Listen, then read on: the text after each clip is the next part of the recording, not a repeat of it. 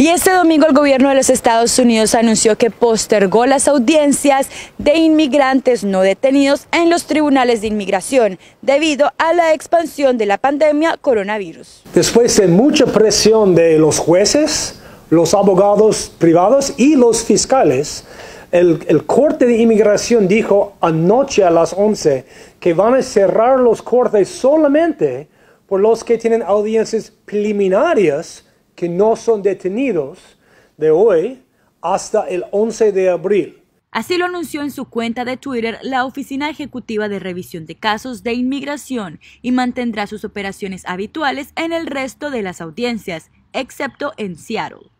El Tribunal de Inmigración tiene más de 1.1 millón de casos atrasados, según el Centro Transitional Records Access Clearinghouse de la Universidad de Syracuse en Nueva York y la suspensión de estas audiencias preliminares tendrá un impacto serio en la acumulación de trámites. Pero hay que tener presente la diferencia entre una audiencia con ICE, los centros de inmigración y el Servicio de Inmigración Ciudadana, USCIS. El abogado Baxter nos indica que USCIS continúa operando y nos dio la siguiente información.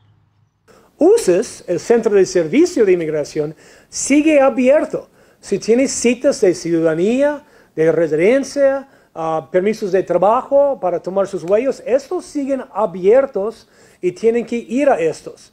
Esta mañana USAS dijo que no debes ir si eres enfermo y vayas a su sitio de web para llenar una formita y mandarles una nota que quieres poner un nuevo horario por su cita si eres enfermo. Pero todos los demás, nosotros como abogados, seguimos asistiendo con nuestros clientes a estas citas de inmigración.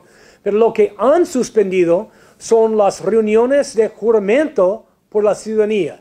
Ah, han dicho que van a tener los juramentos privados el mismo día de la audiencia, yendo adelante hasta se aclara toda la situación con la corona. Sin embargo, el Servicio de Inmigración Ciudadana informó este lunes acerca del cierre de algunas de sus oficinas, lo cual podría crear un gran impacto sobre los inmigrantes, que a menudo esperan meses para sus citas en este largo trámite, además de los costos para la obtención de la ciudadanía estadounidense.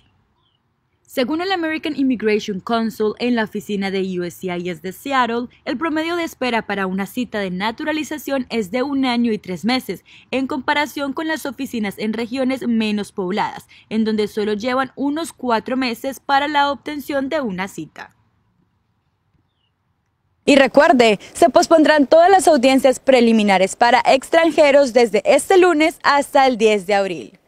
Mi nombre es Camila Daza para Mundo Hispánico.